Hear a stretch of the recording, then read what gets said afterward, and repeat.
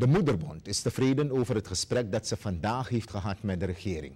Partijen hebben onder meer gesproken over een looncompensatie voor ambtenaren. Errol Snijders, voorzitter van de Moederbond, zegt tegenover de pers dat zijn organisatie zal blijven praten met de regering om tot een structurele oplossing van de economische problemen te komen. Hij zegt dat de positie van ambtenaren nu duidelijker moet worden. Heel ander ding wanneer we praten over een loonsverhoging. Want bij een functieanalyse gaat niet iedereen erop vooruit gaan. Want zij die al hoog worden ingeschaald, zullen stationair moeten draaien. Dat is de discussie welke wij zullen aangaan met andere vakcentrales, met de regering. Dat is het in grote lijnen.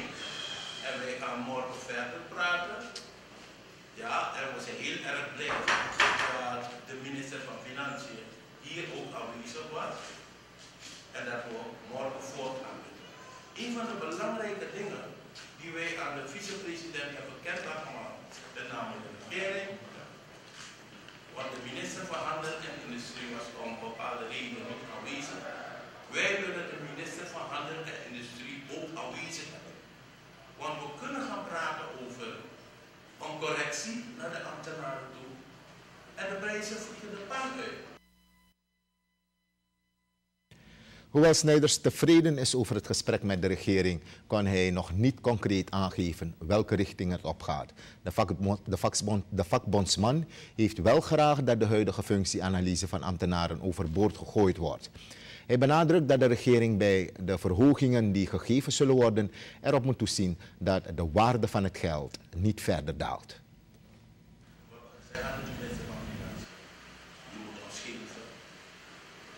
Maar verantwoordelijk voor de monetaire economische positie van dit land.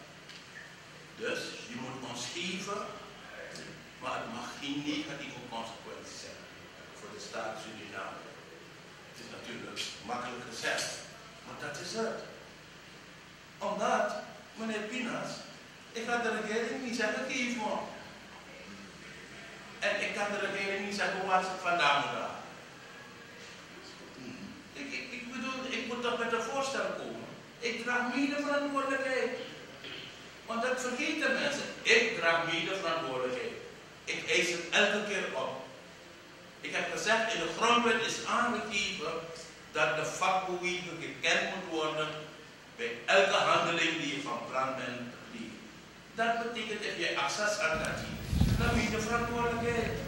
En die mede verantwoordelijkheid dragen. Aldus uh, Errol Snijders van de Moederbond, de vakorganisatie, vandaag een vruchtbaar gesprek gehad met de regering. Partijen komen morgen weer bij elkaar voor een vervolggesprek.